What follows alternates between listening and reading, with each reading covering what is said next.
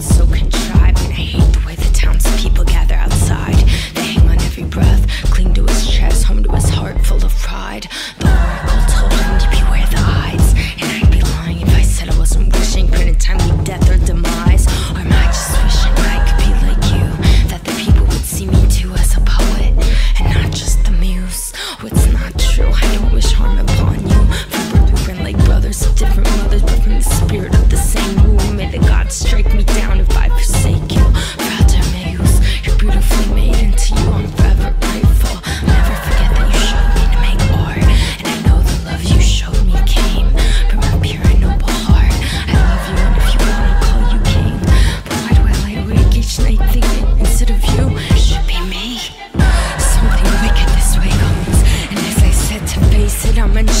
I embrace it? Should I run?